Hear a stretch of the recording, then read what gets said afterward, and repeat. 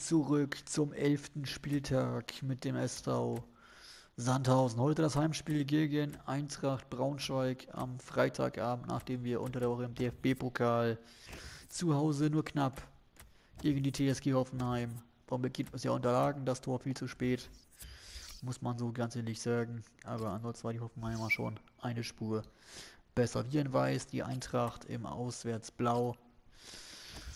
Damit gehen wir dann gleich rein. Wir werden das System umstellen. Das 5-3-2 hat mir gegen die TSG eigentlich sehr gut gefallen. Weshalb wir das heute nochmal ausprobieren werden. Mit der Anweisung langer Ball. Mit der Anweisung, dass die Außenverteidiger stets überlaufen sollen. Also ja, offensiv werden. Wuten ist nicht ganz fit, deswegen Höhler für Vargas.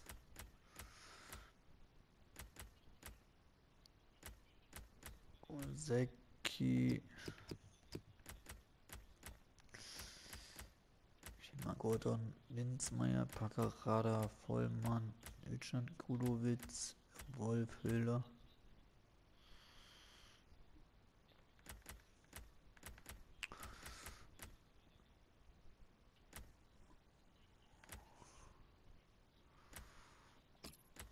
Jalcin kommt für Kulowitz.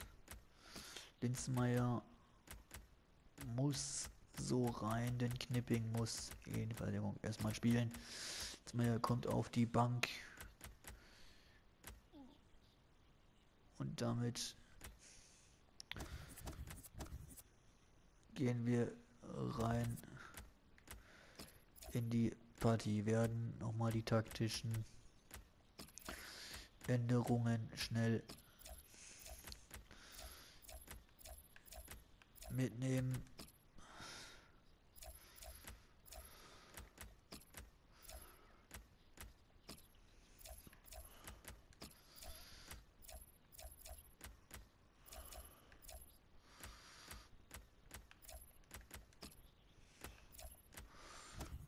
Und dann gehen wir rein gegen die Eintracht. München empfängt Nürnberg. Und damit würde ich sagen, gehen wir rein gegen die Eintracht.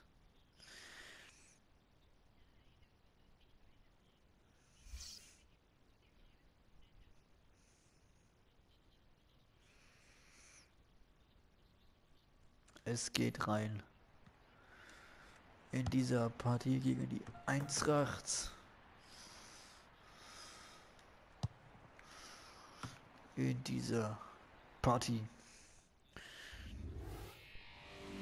Und damit gehen wir rein hier am Hartwald gegen Braunschweig zum 11. Spieltag.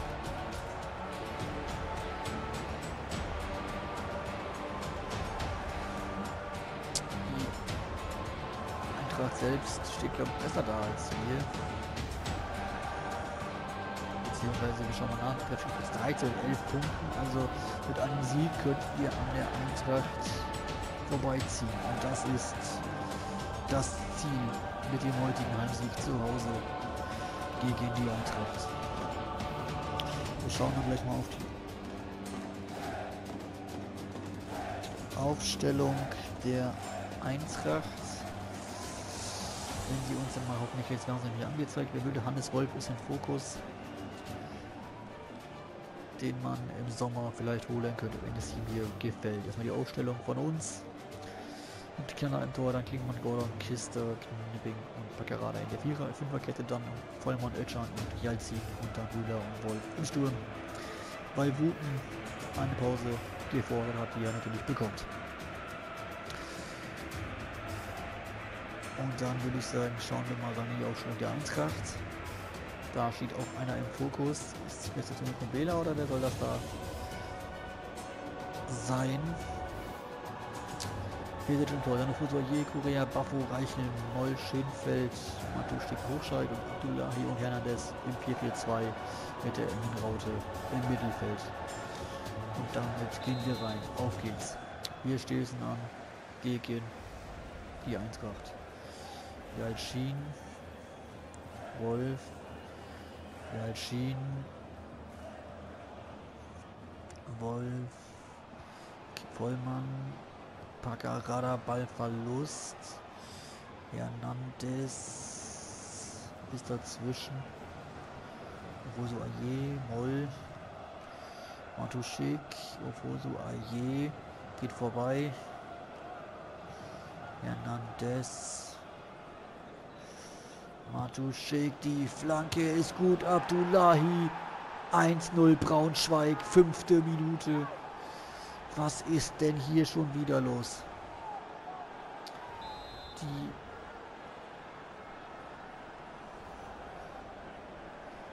Eintracht geht in Führung und der SV Sandhausen erneut im Hintertreffen. Mit Jalcin. Mit Klingmann. Mit dem Ballverlust dann Jalcin. Abdullahi. Reichel, Kister klärt zum Einwurf. Reichel, Hochscheid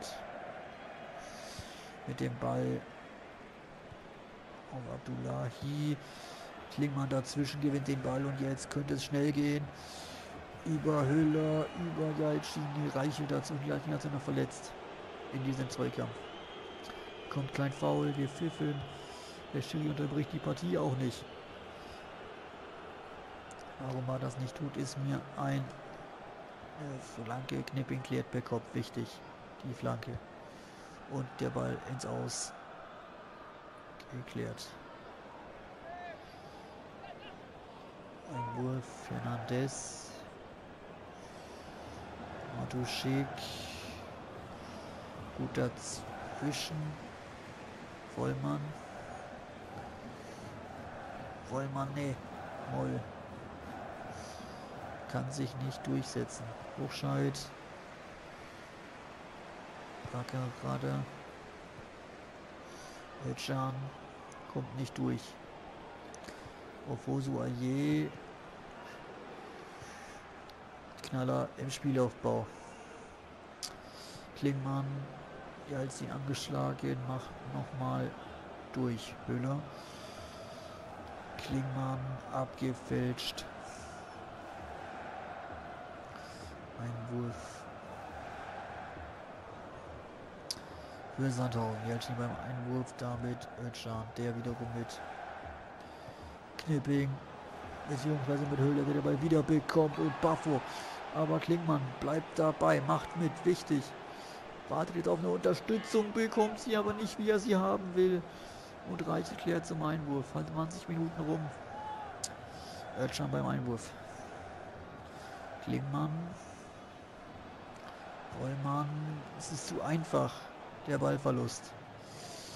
Seitenwechsel der Eintracht über Ofosu Aye, der versucht jetzt den Ball rauszutreiben. Wolf unter Druck gesetzt, wichtig, Höhler bekommt das Foul gepfiffen.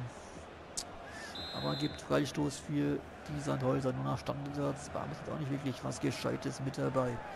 Pacaradas Flanke die Möglichkeit, oh, Fuso hier kann die Ball einfach klären, weil wir nicht zum Kopfball kommen und dann da bleibt Braunschweig auch Sieger Hochscheid über Moll, aber Knipping ist da. Und Spielaufbau mit Kiste. Medial ziehen mit Klingmann, der viele Wege mit nach vorne machen soll. Der Chipball auf Jalzin, der ist gut. Jalzin. Und der Mensch, sich dann doch zur Flanke und kann sich dann gegen Kurett auch nicht durchsetzen. Bafo wieder mit dem Ball auf Ken Reichel. Reichel unter Druck gesetzt, aber bleibt da. Klingmann geht hinterher, bekommt den Ball. Das ist Özcan, das ist Wolf, der nicht gut genug arbeitet. Wolf schiebt drauf gegen Ufusu Aye, dann Vasic, abgelegt, Korea nach außen auf Reichel, der für Matuschek der wieder für Reichel. Klingmann muss jetzt zurückarbeiten. Macht das. Moll auf Abdullahi. Halbe Stunde rum, hochschneid ins Zentrum. Schönfeld setzt sich viel zu einfach durch. Der Ball nach außen. Auf Usuaye lässt Paccarada stehen. Hernandez, das ist zu einfach, wie er sich da mit einer Körpertauschung dran vorbeischlingeln kann. Einwurf Braunschweig nach 33 Minuten. Der Einwurf kommt. Schönfeld, da sind wir erstmal dazwischen. Packerada, aber das ist schon wieder der schlechte Ball. Kister klärt dann. Mit Höhler, der kann die Ball nicht richtig verarbeiten. Moll. Der lange Ball nach außen findet, ins, nur das Seiten aus. Gibt Einwurf für den SVS. In dieser Phase der Partie. Klingmann, Ölschan. Und das ist Vollmann, der über vom Fuß gegrätscht. Das ist zu einfach. Vollmann dann wichtig gegen Abdullahi zunächst. Aber nicht wirklich zielführend, auch nicht Altschien. Jetzt dazwischen Vollmann. Höhler. Der gute Ball, aber Jalcin braucht wieder zu lange in der Ballverarbeitung. Matuschik. Hernandez. Vollmann. Nochmal Vollmann. Nochmal Ötschan. Vollmann. Ball abgefälscht. Nochmal zurückgelegt. Kister. Jalcin gleich weiter mit Klingmann, der mit Höhler, der will Klingmann wieder anspielen. Klingmann gegen Reichel. Man kommt außen einfach nicht vorbei. Über die Außenleute. Höhler beim Einwurf. Mit Klingmann. Klingmanns Flanke abgefälscht. Keine Gefahr abgeblockt. Hochscheid. Hernandez. Gordon.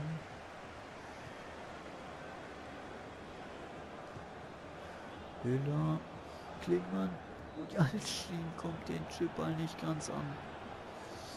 Abdullahi auf Schönfeld. Eichel. Und dann ist hier Pause.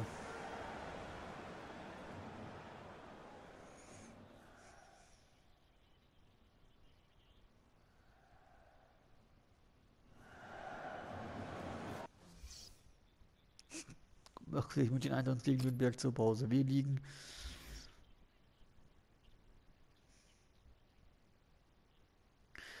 erneut mit 1-0 zurück.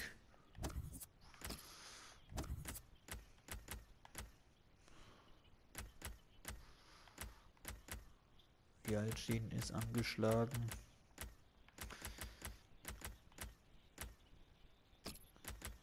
Jansen kommt dafür, Jalcin, der verletzt ist, in die Partie.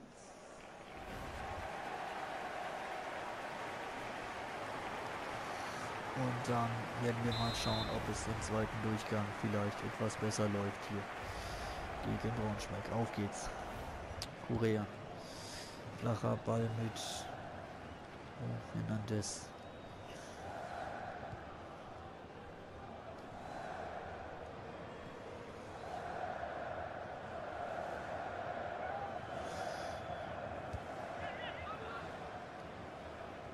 Reichel für die Eintracht gut dazwischen.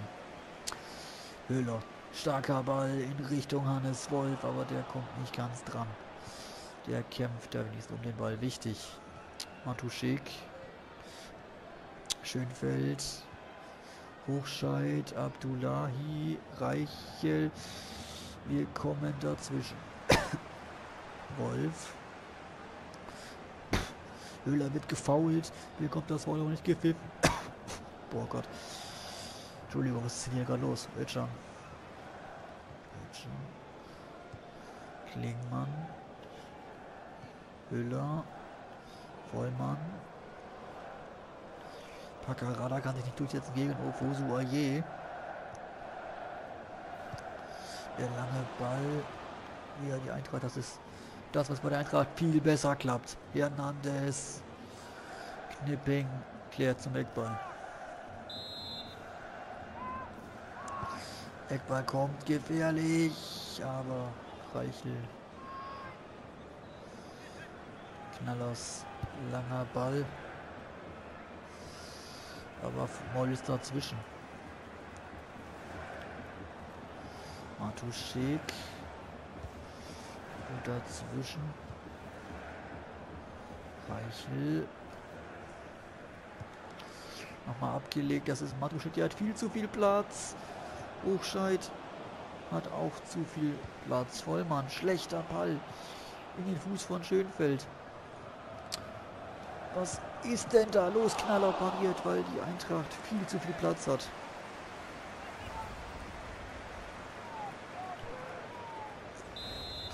Eckball, 60. Minute.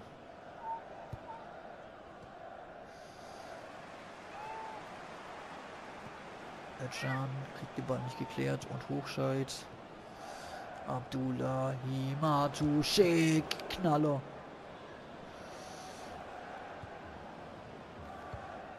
Wir kriegen den Ball nicht dazwischen. Vollmann. Höhle. Hochscheid. Gut dazwischen. Und dann gibt es das Foul gegen Jansen gepfiffen. Höhle. Langer Ball. Matschan.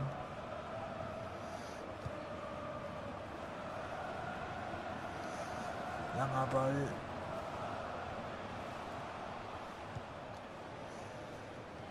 Moll. Gut dazwischen Jansen, aber wir kommen nicht ran. Kurier. Maduschik.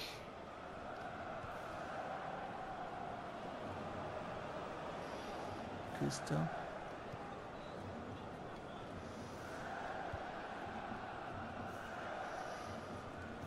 Hühner. Wolf nach außen. Baccarata. Und dann brauchen wir zu lange. Das ist wieder kein Foul. Gester. Elschan. Wolf. Vollmann. Auf Elschan. Auf Jansen. Klingmann. Jansen.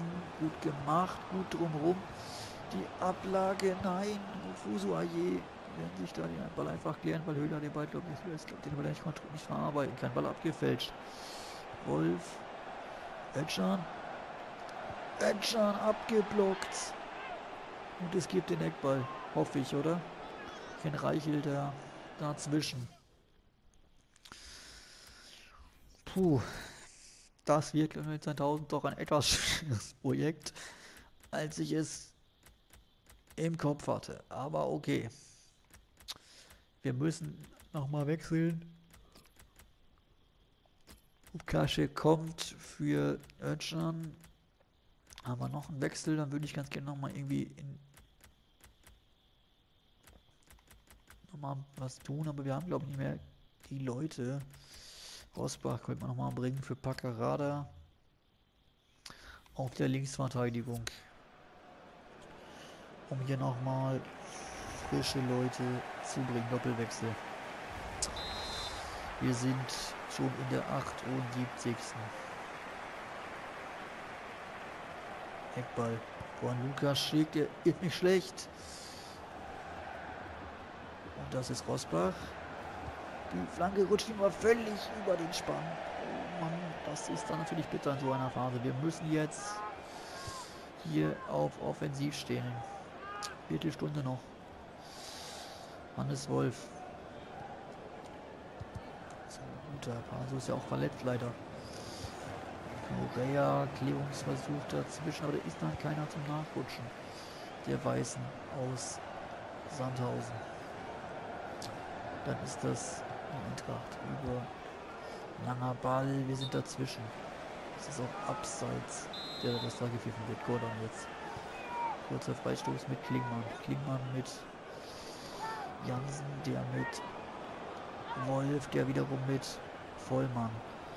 Der über die Seite. Vollmann braucht aber Hilfe, bekommt sie nicht. Und Usoye läuft ihn einfach ab, als wäre Vollmann gar nichts. Dazwischen jetzt kriegen wir auch keinen langen Ball. Fusuaye, nein, setzt sich auch einfach durch. Kumbela setzt geht einfach vorbei. Kumbela, Flanke. Das ist Knaller, der da die Parade zeigt. 90. Minute, Eckball Hochscheid. Lukas Sieg. Lukas Sieg, nein, wird geklärt. Gibt sogar Einwurf für Braunschweig. Einwurf. So aje. Wir kommen auch nicht in die Zweikämpfe. Nächster Foul für die Eintracht. Hochscheids Flanke. Vollmann kriegt den Ball nicht geklärt. Schönfeld, Flanke. Jansen, dann ist hier nämlich Schluss. Und Braunschweig gewinnt mit 1 zu 0 in Sandhausen. Damit bleibt es für uns tatsächlich bitter. Es gibt aber sonst auch keine Highlights in dieser Partie bis auf das Tor. Wir verlieren mit 1-0. Nürnberg gewinnt mit 2-1 in 1860.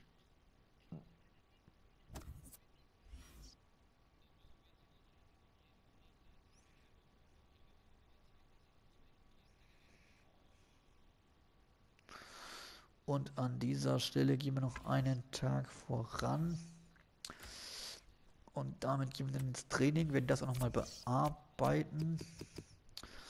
Bei Wolf, den ich jetzt nochmal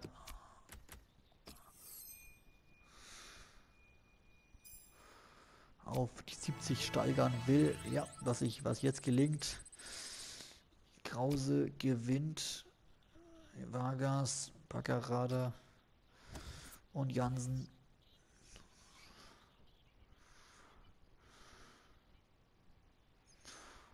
Der ist da. Nach elf Spielen mit neun Punkten bleiben wir Tabellenvorletzter. Das ist bitter.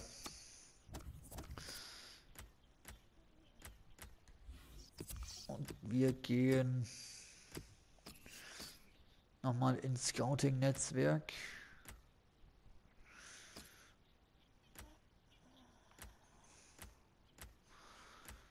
Und wir werden mal scouten.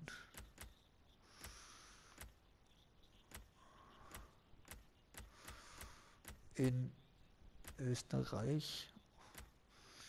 Also in die Schweiz, oder? Wir werden mal nach Österreich, oder? Ja, wir werden mal nach Österreich gehen. Und damit gehen wir nochmal in die Nachrichten. Normal ist fertig. Job Mauer ist auch fertig, der Bericht. Spieler ist verletzt. Fünf Tage fällt Jalcin aus. Wuten bedankt sich. Und an dieser Stelle würde ich sagen, beende ich den Part. Sagt danke fürs Zuschauen. Auch wenn, wir mal wieder nicht gewonnen haben, leider. Und dann sehen wir uns im nächsten Part zum zwölften Spieltag in dieser Saison. Bis dann, bleibt gesund, haut rein und ciao.